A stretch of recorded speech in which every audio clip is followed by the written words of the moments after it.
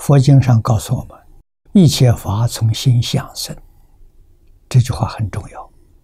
我们心向善，这个世界就善，没有一样不善；心想不善，这个世界就是麻烦，就灾难来了。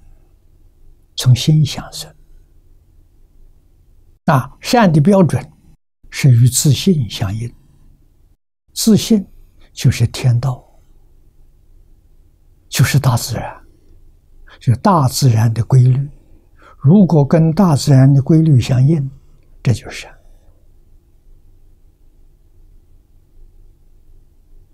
啊，大自然生生不息，没有私心。啊，所以圣贤的心完全随顺大自然。所有宗教里面那些创始人，他们起心动念也能够顺应从大自然，这是好的。啊，像中国古人所提出来的，五伦是顺乎自然的，五常是顺乎自然的，八德是顺乎自然，好啊。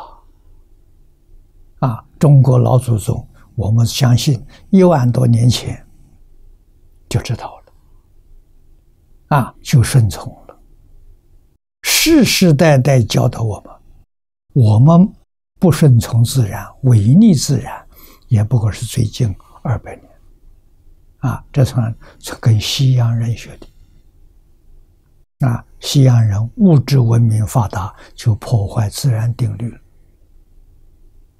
他们要人定胜天，人胜不了天的，到最后麻烦还是要自己承受啊！啊，顺乎自然是最美好的，违背自然就会有灾难。啊，现在违背自然的事情太多了，啊，给地球带来的灾难不少。啊，甚至于气候的变化，都是科学技术造成的，啊，违背自然。那么人体也如此，人体要能顺应自然，啊，我们怎么顺应对身体没有念头，对整个身体没有任何念头，像婴儿一样。啊，婴儿对他身体没有念头，啊，所以他身体健康。啊，为什么老人身体不健康？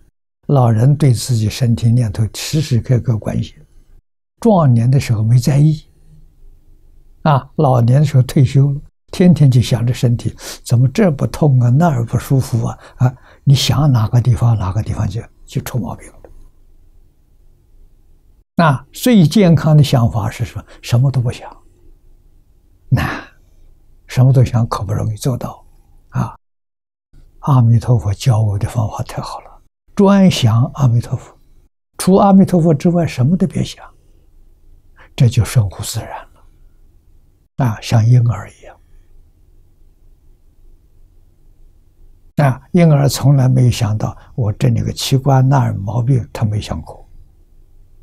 啊，所以他不会有问题，很有道理啊，不是没有道理啊。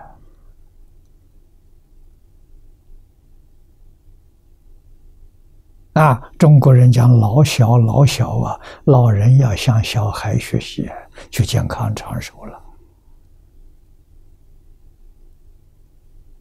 啊，佛教里面菩萨修行有这个。